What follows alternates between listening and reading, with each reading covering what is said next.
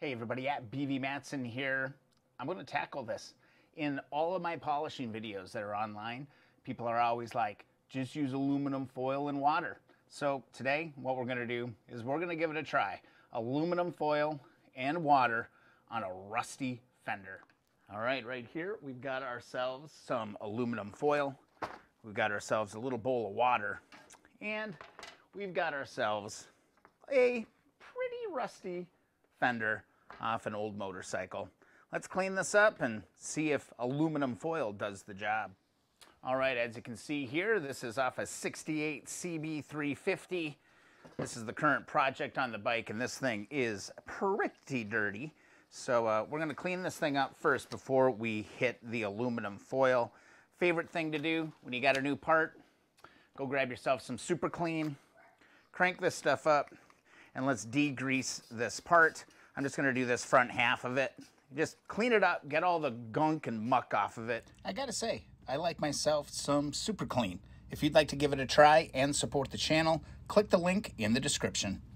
I actually think this is the perfect part to try this on because we've got some really deep rust coming through and then we've got some lighter rust up on this top end. So I think it'll be a good comparison. So all the videos that I've seen on this is you want kind of a big hunk of paper or of aluminum foil and you want to crumple it up pretty tight.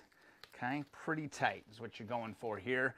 And then you're going to dip it in the water, kick it around a little bit. We're going to start up top here and uh, we'll see what we can do with this and then we'll go from there.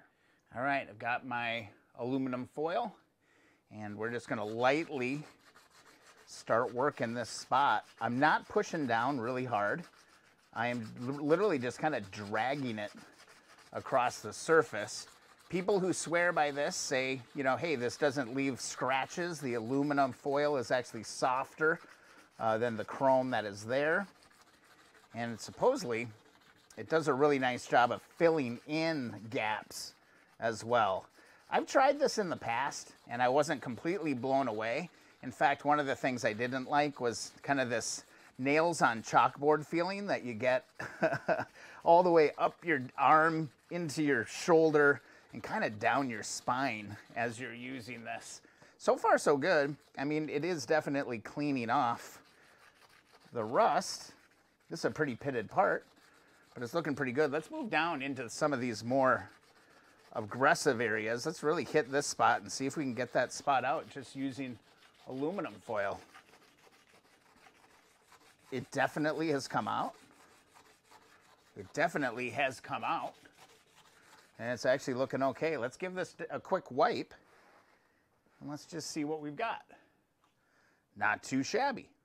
All right, now let's get serious. It does fine on surface rust, on just some like light surface rust. But now let's go and tackle some of this gnarly, gnarly stuff that we got happening here. So let's just start going across it. Nice and light. See if we can make this rust disappear with just aluminum foil and water. This is some pretty hard, hard stuff going on here. This is deep all the way through the chrome, down to the bottom. Not sure there's much left underneath here. But you can see it's slowly kind of taking it away. I'm going to keep working this.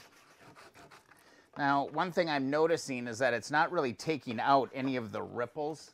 Um, some of the videos I've seen online, it's like, oh my God, it's like a miraculous transformation. And like all of these little ripple marks in the surface go away. I'm definitely not experiencing that at this point, but the rust is definitely gone. I mean, look at that side by side right here. It's, it is better. It's, it's definitely better. Is it perfect? Absolutely not. But it is kind of getting the job done. So let's kind of keep going a little bit and see where we can take this.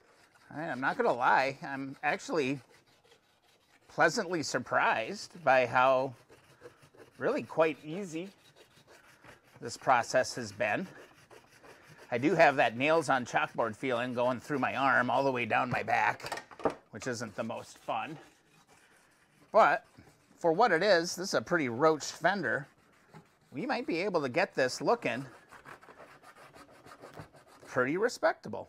All right, let's give this a little wipe.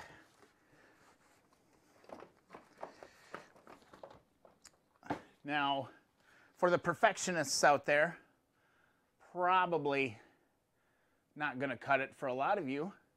But if you're on a budget build, I could see this working for a lot of people. Again, here you can see those little ripples in that.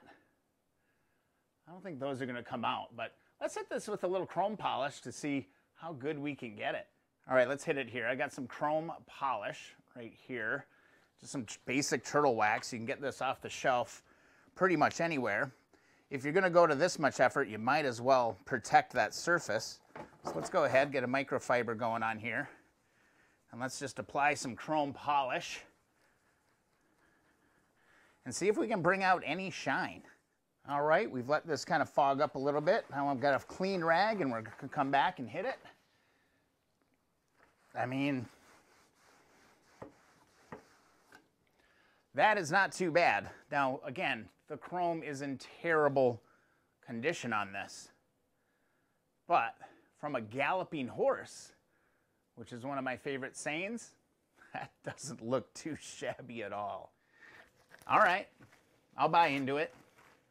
For a budget job to clean up some rust really, really quick, aluminum foil and water, balled up, works pretty damn good. All right, it can save that rusty old part that you got. So um, I, I, I, might use it to knock a lot of stuff out. Um, I think the key to it to make sure the rust doesn't come back is that you do protect it with something. So get some wax on it, um, you know, clear coat maybe, not on chrome, you don't want clear coat chrome, but get some protectant on it so that rust just doesn't come bubbling back right away. Because once that starts to develop, of course, that rust is going to come back. We're just trying to make it look respectable. And I do think that, uh, I mean, it worked.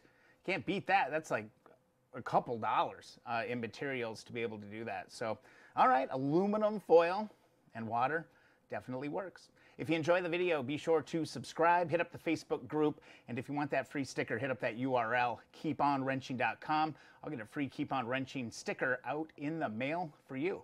Thanks so much for watching, and we'll see you in the next video or live stream.